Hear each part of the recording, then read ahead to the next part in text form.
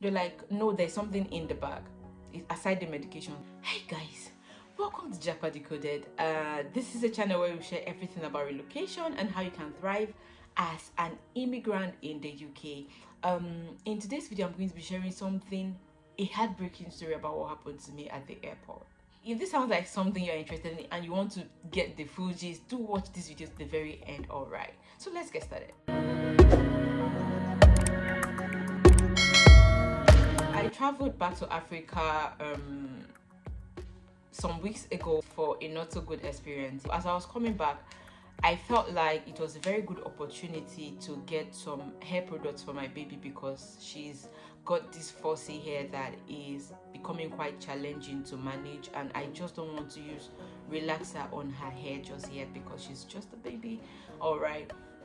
So I got some hair products with my hard-earned money my my brothers and sisters it was i don't want to say expensive but it was good for the money and i decided to use that as an opportunity to get them for her all right so but the period wasn't a very good one for me. So i wasn't in the right frame of mind and all of that. And i had a lot of things to do within a short period of time. So i just packed my luggages anyhow.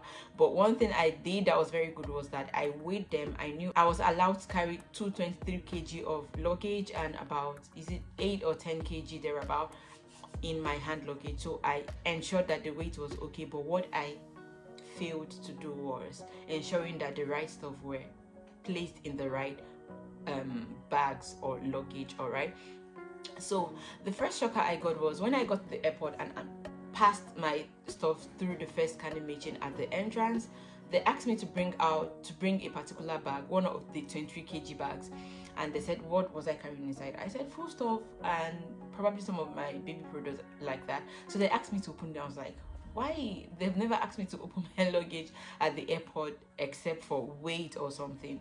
So it was almost like i was carrying an exhibit.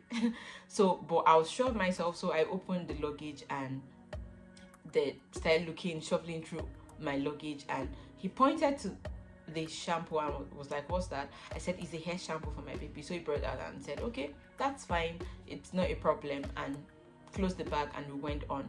And even when i got to the check-in area they checked my bag like at the airport nigerian airport.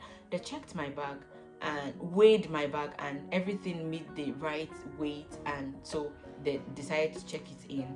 So i still had about two hours almost three hours left before my flight and my brother-in-law that followed me to the airport i needed to go stay with him and spend some time some time with him. So i after checking in i went back to stay with him. So i stayed with him for about two hours thereabout and decided you know what it's time for you to leave so you don't get home so late. So i saw him out of the airport like out of the entrance all right?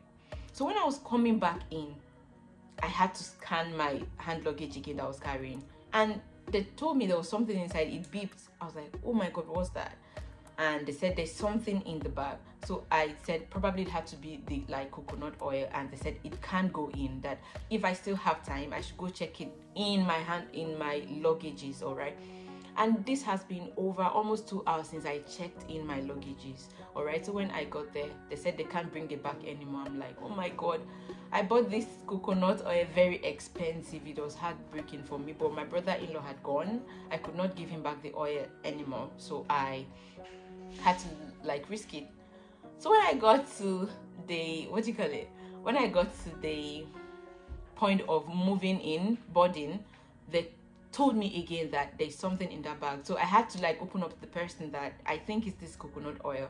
And i brought it out and i told her you know what? I don't have time again. I asked what what's her name and i had to like give it to her dash her like at least she told me a thank you. It was better than just like losing it. So i that didn't pain me so much because i felt like i gifted it to someone all right so and I, I i went into the plane. So i used a transit um flight yeah? So my flight was going to turkey istanbul and when we got there we had to do another scan again and like scan everything on us. And i was surprised when my hand luggage like beeped again. I was like no not again. So they asked what was in my bag. I said probably it's my clothes and maybe some medications i have for my baby. They're like no there's something in the bag. Aside the medications i was like oh my god. That's how they had to like start emptying my bag again. It was quite embarrassing. That was how they brought out a shampoo and a conditioner from my hand luggage and in my presence without anything without talking without negotiation nothing. They just trashed it into the can in my presence. They trashed it into the waste bin. Like my heart was paining me. I didn't know i i, I was so pained but there's nothing I could do about it. What they told me was that it was more than 100 mil that the allowed um, amount of liquid or something of that kind of stuff in your hand luggage is 100 mil. And of course mine was 500 mil each of them. So there's nothing i could do about it. They trashed them into the can in my presence. It was heartbreaking. So at least i've learned one or two things um, the major thing i've learned from that is that if i'm carrying anything like that on a flight especially on an international flight i should put them in my check-in bag and not my hand luggage.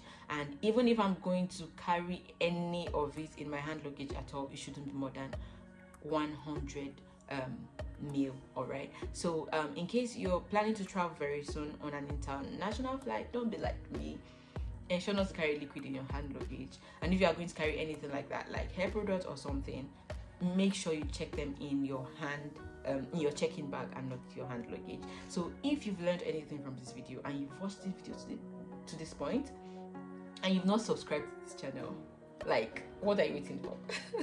I don't want to say what is the call of your problem sha. Yeah what are you waiting for? Do well to subscribe to our channel. Um like this video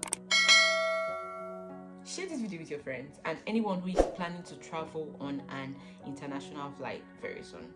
And if you've got questions ask me in the comment section and i will make sure i answer all of your questions all right so um thank you so much for watching this video to this very point. Until i come your way again i remain comfort gideon. Bye